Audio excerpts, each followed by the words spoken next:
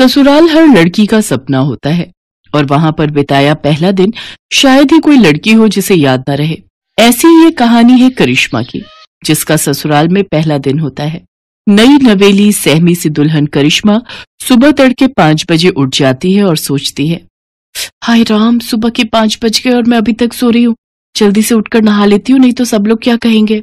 करिश्मा जल्दी से नहाकर बाहर आती है और पूजा पाठ करके किचन में चली जाती है।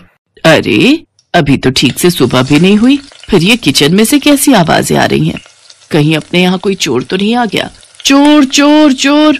बेचारी करिश्मा किचन में नाश्ते की तैयारी कर रही थी, लेकिन अपनी सास का शोर शराबा सुनकर वो डर जाती है और जल्दी से बाहर आकर पूछती है।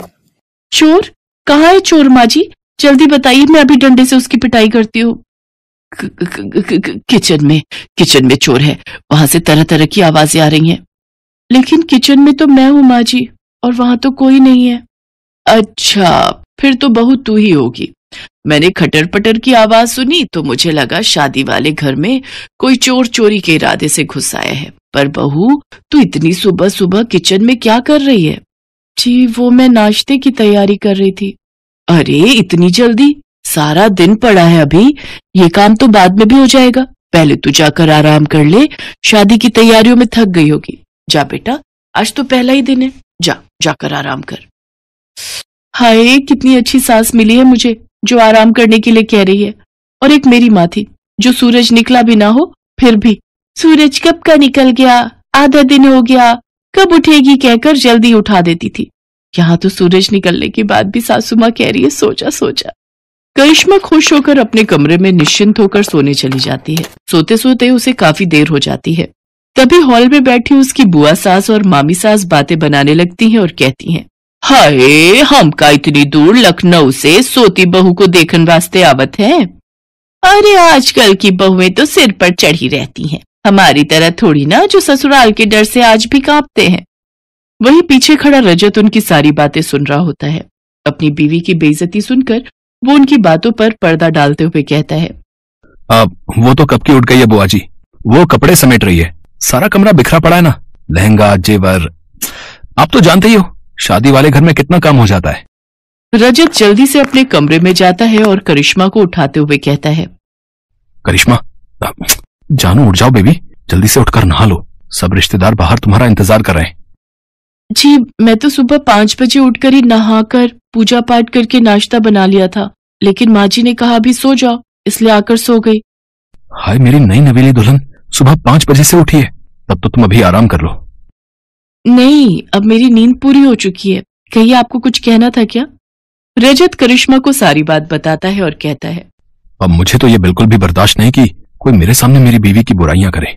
चलो अब जल्दी से तैयार होकर बाहर आ जाओ। सब तुम्हारा इंतज़ार कर रहे हैं। इतना कहकर रजत बाहर चला गया।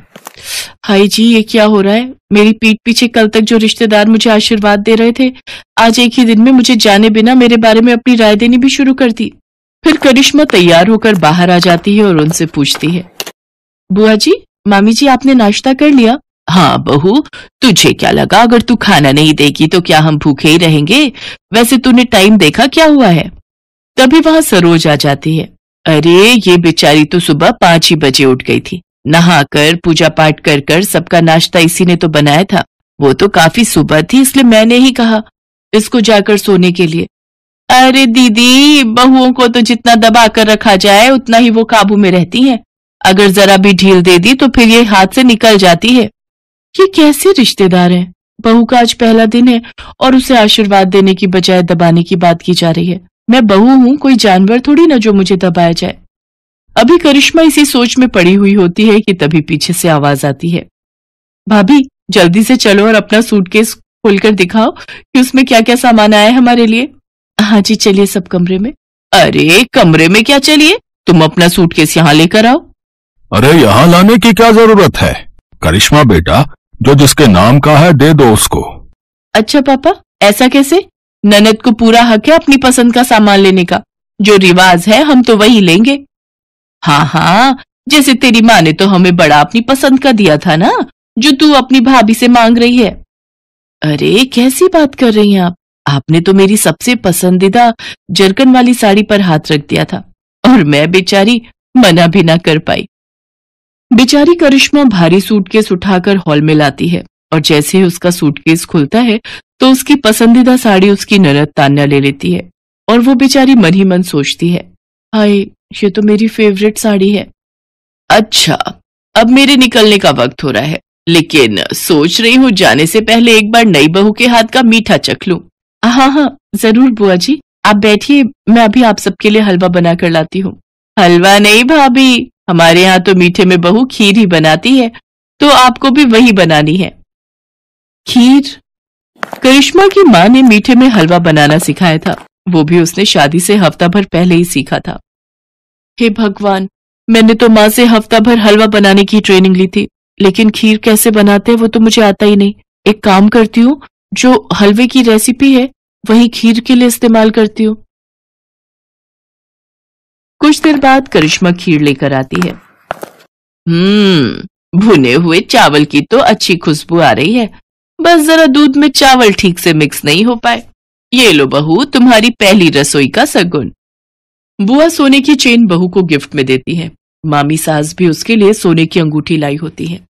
आप सबने मेरी बहू को समझा, वही हमारे लिए काफ़ी है। इन सब चीज़ों की कोई ज़रूरत नहीं थी। ज़रूरत कैसे नहीं थी, दीदी? ये क्या तुम्हारी ही बहू है, हमारी नहीं? हाँ इसकी अहमियत हमारे लिए भी उतनी ही है, जितनी तुम्हारे लिए। बहू, अब तू थक गई होगी। जा बेटा, अपने कमरे में जाकर आराम कर। करिश्मा उन सबके पैर छूकर कमरे में चली जाती है। आज शाम को बहू के मम्मी पापा आने वाले हैं। देखते हैं क्या लेकर आते हैं। वही लाएँगे जो तुम्हारे लाए थे। खाली हाथ ही आएँगे और क्या। और जो शगुन से पहले ट्रक भरकर आया था उसका क्या? वो तो आपको याद नहीं। चलो अब तो मैं चली अपने घर। आप दोनों ननद भाभी शादी के तीस साल बाद भी लड़ती ही रहो। हाँ हाँ मैं भी चलती हूँ। इसके बाद वो वहाँ से चली जाती है। शाम को करिश्मा के माता पिता उसके ससुराल आते हैं। अरे, आइए आइए भाई साहब, बहन जी।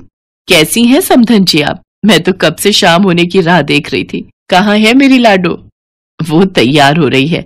वैसे शाम की राह क्यों देख रही थी? अब तो एक ही घर है, पहले ही आ जाती। जी, वो तो है। उधर करिश्मा रजत से कहती है, सुनो जी, मुझे न शर्म आ रही है साड़ी पहनकर मम्मी पापा के सामने जाने में। आज तक पहनी नहीं ना? अब ये लो सूट, मैं तुम्हारे लिए लाया था। इसे पहन लो। मम्मी से मैं बात कर लूँगा। करिश्मा सूट पहनकर तैयार हो जाती है और सबके सामने आ जाती है। लो जी, आ गई हमारी बहू। देखो तो सूट में कितनी प्यारी लग रही है। बहू, तू ना सूट भी पहना कर। बड़ी प्यारी लगती है सूट में। इसके बाद करिश्मा को सब अच्छा लगने लगता है। उसकी शादी का पहला दिन उसके लिए खट्टा मीठा भरा रहता है। लेकिन प्यार करने वाले पति, सास, ससुर और ननद पाकर वो खुश हो जाती है।